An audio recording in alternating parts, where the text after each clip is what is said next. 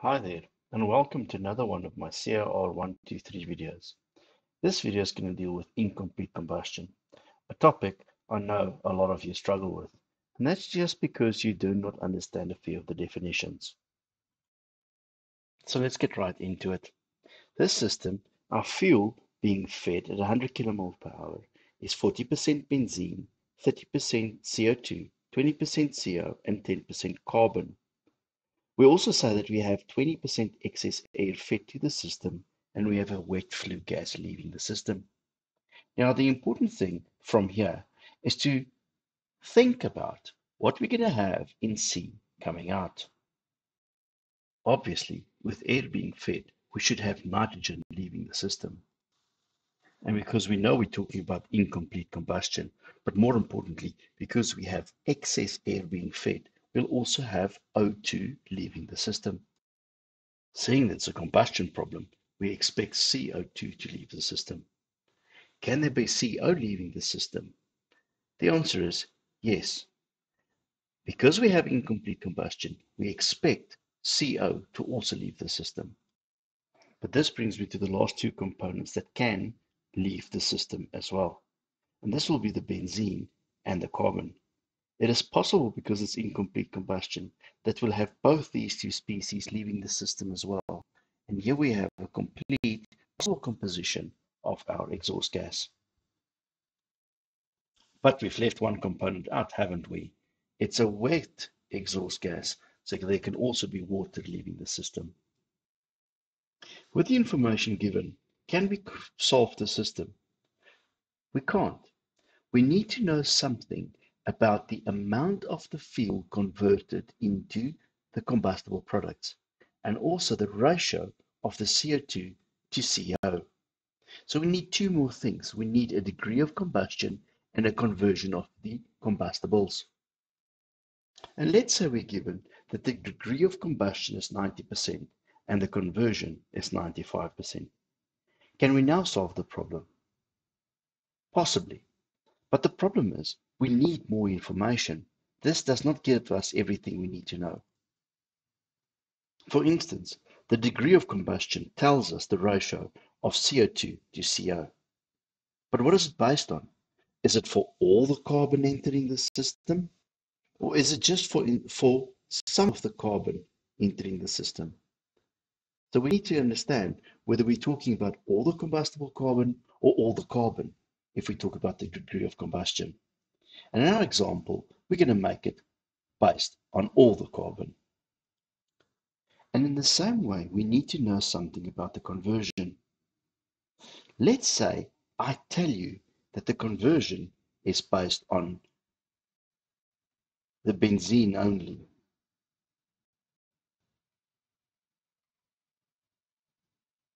So we say we have 95% conversion of the C6H6. So this 95% conversion is only related to the C6H6N, which equals to 40 kilomoles per hour. Now, if we're given a 95% conversion, then 0.95 of this 40 is converted into combustibles. Whether that is CO or CO2, we'll talk about that later. But we know that 95% of that is converted, and thus 2 kilomoles per hour of the benzene is leaving the system. The 30, a 40 minus 38 gives us 2 kilomoles per hour leaving the system. Now, guys, I'm not talking about whether it is leaving the system as water, CO, CO2, or combinations of the above. I am just saying that the conversion is 95% for the benzene fed to the system. So the conversion and the degree of combustion is separate from each other. It's important to understand that. I could also have said that the conversion is 95% of all carbon. That means all the carbon coming into the system, 95% of that is combusted. I could also have said it's 95% conversion on combustible carbon, then it would only have been on the combustible species entering the system, and they were converted in a ratio of 95%. All of them. So 95% of this, 95% of this, and 95% of this converted. Not into CO, not into CO2, but into combustion products. So both CO and CO2 and water. Please make sure you understand this. Go read through the notes again. Make sure you understand this, that the conversion is based on something. If it's not given as a based on something, you need to make an assumption as to what it's based on. Typically, in that case, you would say 95% conversion of all the carbon. Same we did with the degree of combustion where we said all the carbon. Please, guys, Yet again, last time I'm going to say this, make sure you understand this.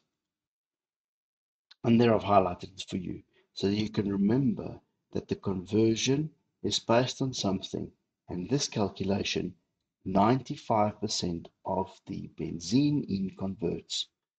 And that is 38 kilomoles per hour converting.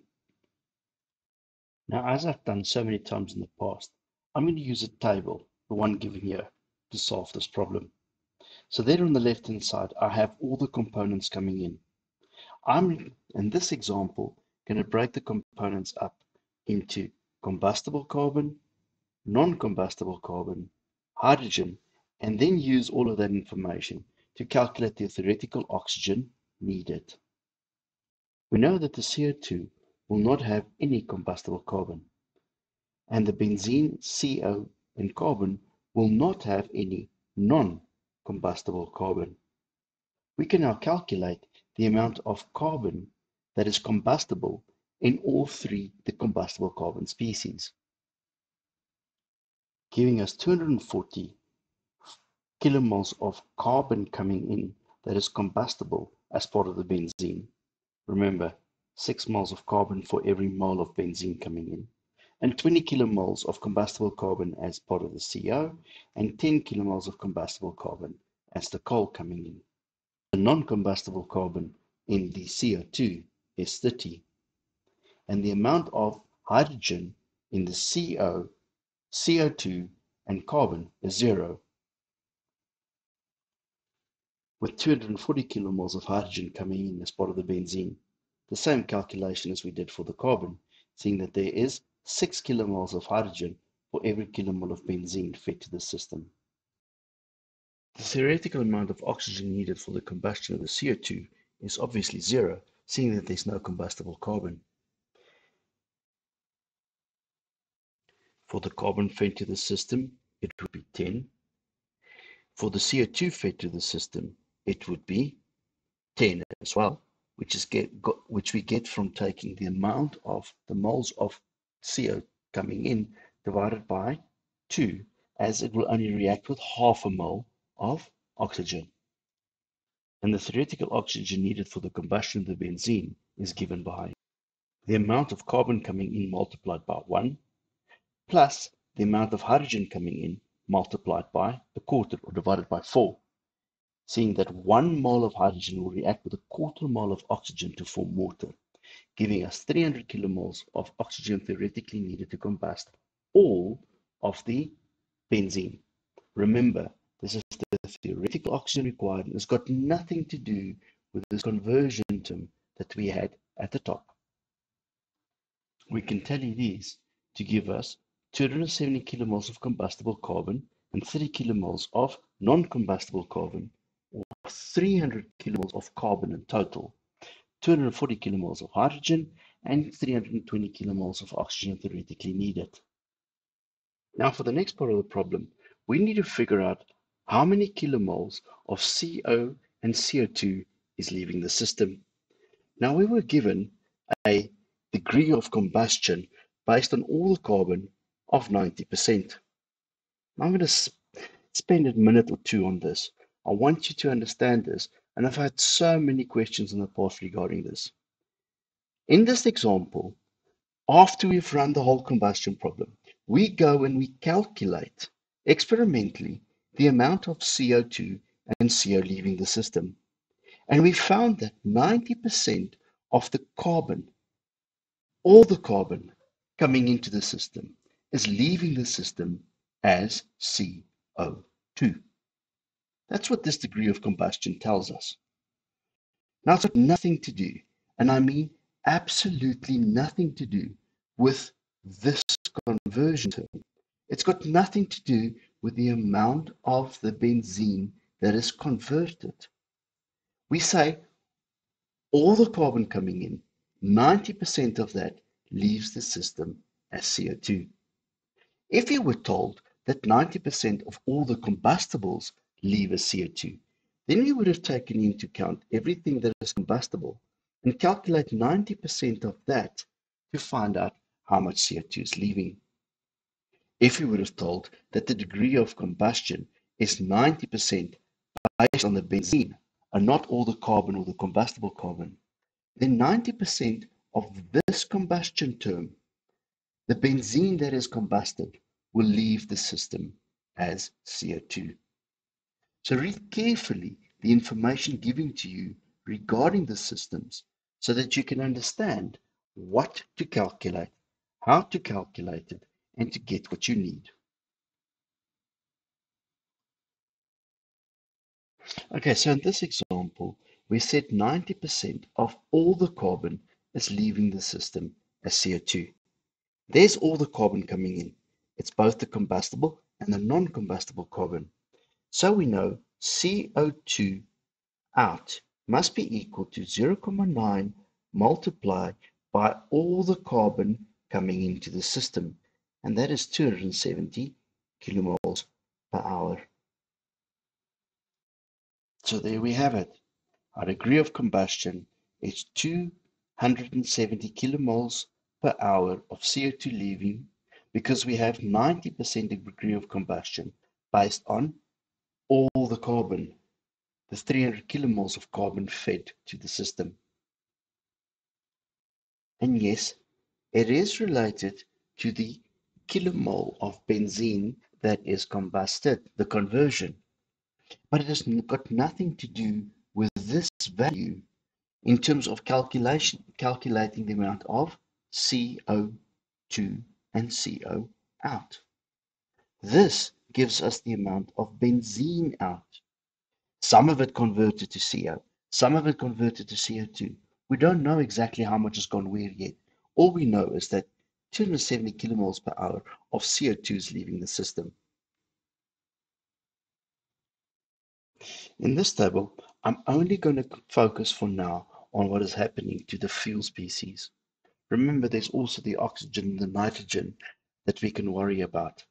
Also, the water being formed. I don't want to worry about those now. You guys should be able to calculate them by now by looking at complete combustion and taking into account the percentage conversion. I just want to focus on what is happening to the carbon and the CO and CO2 being formed. So we know the amount of one of these in. So there's the total carbon in, there is the carbon in for the CO2, for the CO, for the carbon as carbon, and for the benzene.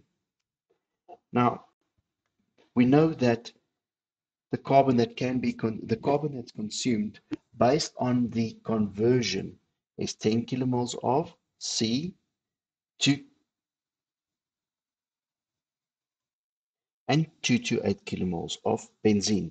How do we get to that? And that is by taking the 40 kilomoles of benzene in multiplied by the 95% conversion, giving, giving us 38 kilomoles of benzene consumed. With 6 moles of carbon per mole of benzene, then we have 228 kilomoles of carbon consumed and we know none of the CO2 is consumed because it's non-combustible, which means we'll have 30 kilomoles of CO2 leaving the system from the CO2 in. We also know that we will have 10 kilomoles of CO2 leaving the system from the C in. Lastly, we can calculate the amount of CO2 leaving the system from the benzene being consumed. And for every mole of carbon, that's consumed for benzene, we will have one mole of CO2 forming. Now, did we consume any of the CO? How do we know how much CO2 is going out? How do we know how much CO is going out? And this is easy. We know that the CO2 going out must be equal to 270 kilomole because we calculated that we have 90% of all the carbon converted to CO2 as given by the problem statement. This means that these four values should add up to 270 and currently they are adding up to 268 which means that 2 kilomoles of the CO consumed to form CO2. I need to get to the 270 because we were told that the degree of combustion is 90% based on all the carbon fed to the system. And if all the carbon is 300 being fed to the system is converted in, by 90% for the degree of combustion, then we have 270 kilomoles of CO2 leaving. The only way we can get to 270 is if all this, all this, all this leaves as CO2 and 2 kilomoles of the CO converted to CO2 as well. Guys, you need to read the problem. Read the problem to understand what is given to you. We could have been given something else, then we would have had a different answer. So, in this video, the important bit is this information here. We got told that we have 95% conversion of the C6H6, the benzene. And here we calculate what happens to that. Then the other important bit we have is the fact that 90% degree of completion based on all the carbon. It is important to understand what that means. And that in the end meant that we had all the carbon being fed, 90% of that converted to give us 270 kilomoles of, per hour of CO2 leaving the system. We then need to balance the whole system so that we have this 270 kilomoles of CO2 leaving the system. And this we could only, could only achieve by having 2 kilomoles of the CO converted to CO2 as well. I really hope this example helps you. Remember, the most important thing you need to learn from this example is that you need to read the problem, understand what you are being given. If you don't understand, try and figure out. See you again next time.